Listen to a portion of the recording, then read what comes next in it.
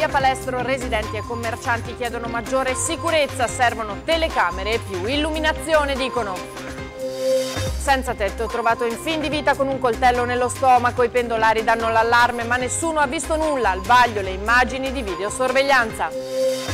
Pronto sono l'avvocato Valentini, truffatore cerca di spillare soldi a 15 anziani padovani ma loro non si fanno raggirare e chiamano i carabinieri. Anche il Tribunale del riesame ha respinto la richiesta di arresti domiciliari per l'ex sindaco di Avano Terme in carcere da giugno per lo scandalo Tangenti.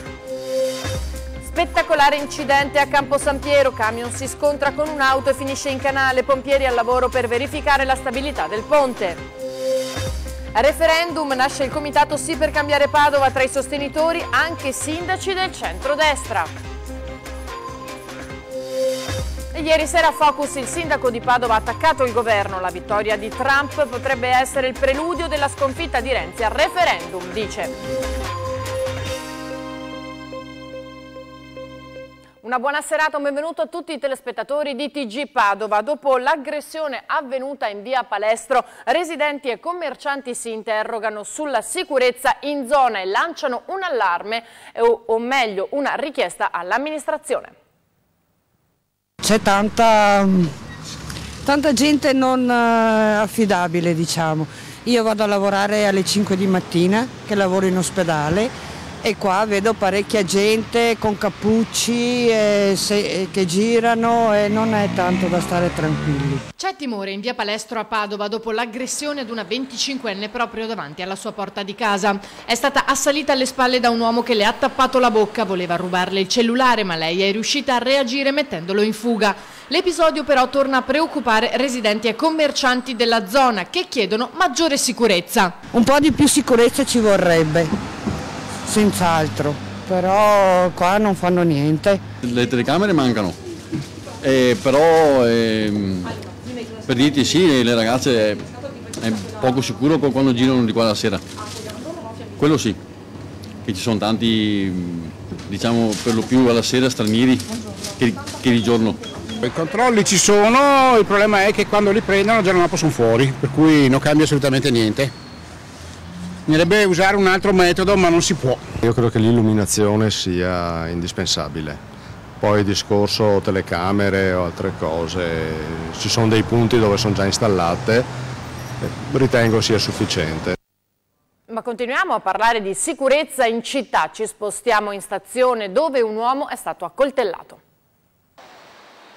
Ha cacciato a terra con un grosso coltello da cucina conficcato nel torace. L'allarme in pieno giorno in stazione a Padova è stato dato da alcuni pendolari che all'ora di pranzo si sono accorti di un uomo in fin di vita raggomitolato in un lago di sangue lungo il passaggio pedonale che collega i binari con via Avanzo, proprio a pochi passi dal cantiere per il nuovo sottopasso. Sul posto la squadra mobile che ha recuperato l'arma mentre l'uomo è stato portato in condizioni disperate all'ospedale. Un episodio misterioso con molti lati oscuri. Potrebbe trattarsi di un tentato omicidio. Il ferito un romeno senza tetto. La polizia però non esclude nemmeno l'ipotesi del tentato suicidio. Gli agenti in queste ore stanno visionando le immagini delle telecamere di videosorveglianza, anche se il punto dove è avvenuta la presunta aggressione è poco coperto dagli occhi del grande fratello cittadino.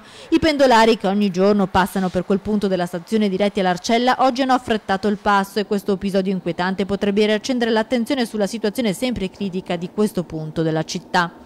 Anche all'interno dei vagoni, poche ore fa, si è verificata un'aggressione ad una giovane donna di Este. La 33enne avvocato civilista dell'Università di Padova si è sfogata su Facebook raccontando di essere stata minacciata e insultata da un magrebino a cui aveva appena chiesto di togliere i piedi dal sedile per far spazio a chi si voleva sedere. La giovane è stata a più riprese aggredita verbalmente dall'uomo fino a quando, giunta in stazione, non ha raccontato tutto alla polizia ferroviaria che ha identificato e denunciato lo straniero. E un 44enne albanese è stato denunciato per resistenza a pubblico ufficiale e danneggiamento aggravato dopo aver speronato ieri sera l'auto eh, della polizia per fuggire ad un posto di blocco. Fermato all'alt eh, dagli agenti, infatti l'uomo ha subito ingranato la retromarcia, eh, dunque speronando la loro auto e poi dandosi alla fuga. È iniziato un inseguimento anche con l'aiuto di una seconda vettura della polizia ed è stato dunque fermato poco dopo. Allarme truffe agli anziani, ben 15 tentati colpi a Padova in azione, un falso avvocato. Sentiamo. Pronto, sono l'avvocato Valentini. Suo figlio ha provocato un incidente e deve pagare 5.000 euro ad un mio incaricato per consentire le pratiche di rilascio. Ben 15 anziani padovani hanno ricevuto questa telefonata ieri pomeriggio, tutti residenti nella stessa zona, il quartiere Savonarola. Il fantomatico avvocato Valentini ha tentato di mettere a segno una raffica di truffe, ma gli attenti nonni padovani non si sono fatti abbindolare, hanno allertato i carabinieri. In molti hanno spiegato che dopo aver sentito parlare di questo tipo di raggiro giro dai media e negli incontri con le forze dell'ordine sono più resti a dare retta a sconosciuti che si spacciano per avvocati. Tuttavia resta il dato inquietante, ben 15 tentati colpi in poche ore solo in città. Federconsumatori da sempre a fianco alle categorie più deboli che spesso sono vittime di squalidi raggiri a scopo di estorcere denaro evidenziano l'importanza di conoscere le tecniche di questi furfanti senza scrupolo. Ci sono anziani che sono caduti in questa rete che non si sono più ripresi dallo, eh, dallo smacco che hanno subito. Eh, non è così facile poi affrontare sotto l'aspetto psicologico il fatto di essere cascati all'interno di una truffa di questo, eh, di, questo, di questo, tipo. Dai finti avvocati ai falsi tecnici di acqua e gas che entrano in casa e rubano la truffa, però spesso avviene anche telefonicamente. La stessa associazione di consumatori è stata usata come scusa da un truffatore che solo pochi giorni fa ha contattato un'anziana di Veggiano per proporre, spacciandosi per un addetto di Feder Consumatori, vantaggiosi contratti per forniture elettriche. Il conoscere quali forme eh, questi truffatori utilizzano è importante per accendere il campanello d'allarme alle persone anziane, soprattutto alle persone che vivono da sole. Niente arresti domiciliari per l'ex sindaco Luca Claudio. A Bano Terme, il Tribunale del riesame di Venezia ha bocciato il ricorso proposto dai legali di Luca Claudio contro il no alla concessione degli arresti domiciliari, già espresso dal giudice per l'udienza preliminare di Padova Margherita Brunello. Le motivazioni della decisione verranno depositate nei prossimi giorni. Il Tribunale del riesame forse ritiene ancora valido il rischio di reiterazione del reato e di inquinamento delle prove da parte dell'ex sindaco di Abano Terme, considerato il regista di un sistema di tangenti alle terme. Al referendum costituzionale tra i sostenitori del sì anche alcuni primi cittadini del centrodestra.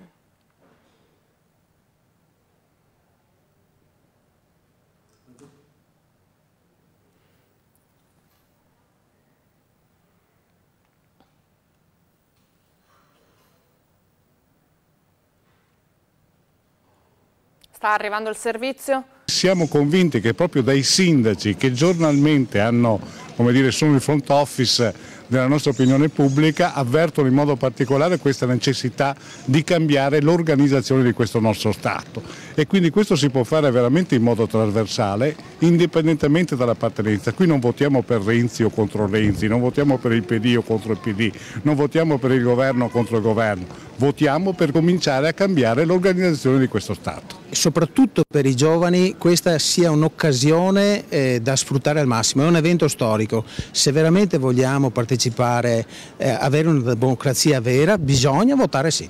Nasce il comitato Sì per cambiare Padova a poche settimane dal referendum costituzionale tra i sostenitori del sì a sorpresa anche sindaci del centrodestra, come il primo cittadino di Vigonza e quello di Saonara ora alla guida con una civica mista ma un tempo consigliere provinciale di Forza Italia. Il comitato è presieduto da Paolo Giaretta. L'odio per Renzi eh, politicamente può esistere ma non possiamo far soffrire il Paese per sconfiggere il Presidente del Consiglio a danno dei vantaggi generali della comunità. Ci sono sindaci, ex sindaci, amministratori ed ex amministratori della provincia di Padova nel comitato uniti al di là del colore politico. Tutti brontoliamo che ci si mette tantissimo a fare le leggi, che il CNEL non serve a nulla, che la politica è lenta, che è l'occasione per carità, si poteva anche fare meglio, però è un, sempre un primo passo e io credo sia oggi indispensabile dire sì al cambiamento per ridurre i tempi della politica. Sul fronte del no c'è invece un altro primo cittadino, Massimo Bitonci, che ieri sera era ospite a Focus la trasmissione condotta dal direttore Baccialli.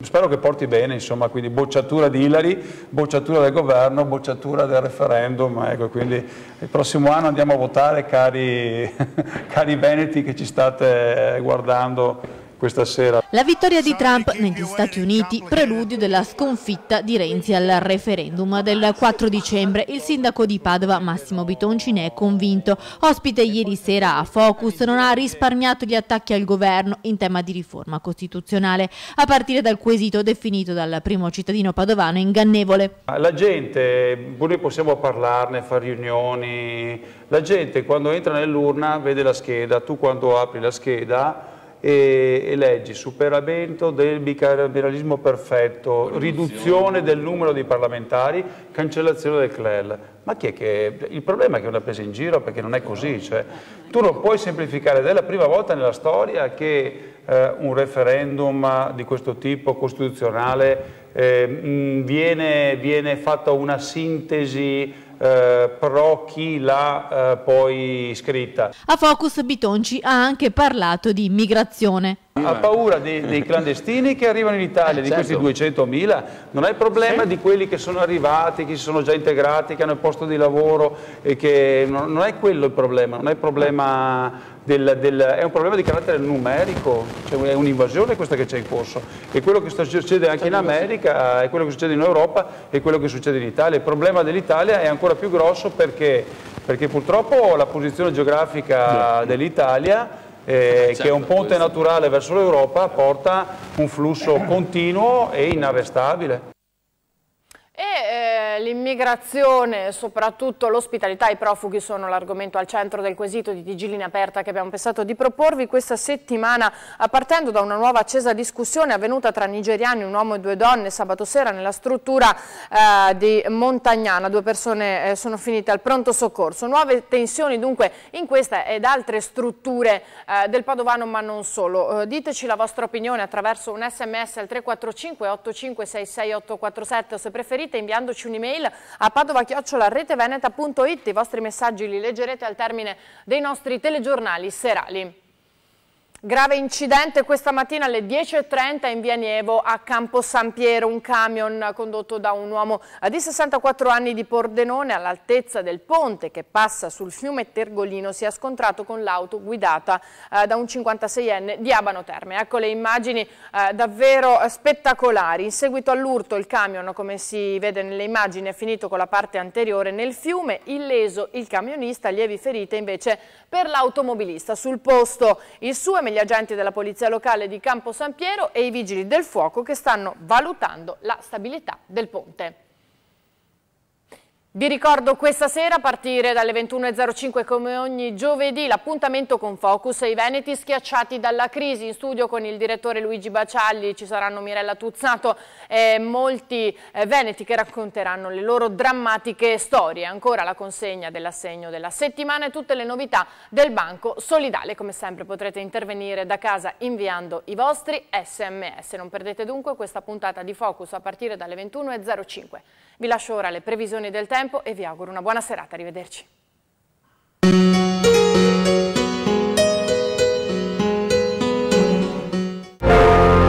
Il valore alla tradizione, il valore all'emozione. Mengotti, la calzatura per eccellenza nel Veneto, dal 1889. Le previsioni per domani. In prevalenza nuvoloso, con probabilità di precipitazioni in aumento al mattino e nel corso del pomeriggio. Saranno probabili deboli precipitazioni sparse, nevose sopra i 1000-1300 metri. Temperature minime stazionarie e un leggero aumento, massime senza variazioni di rilievo o in lieve diminuzione. Il valore alla tradizione, il valore all'emozione. Mengotti, la calzatura per eccellenza nel Veneto, dal 1889.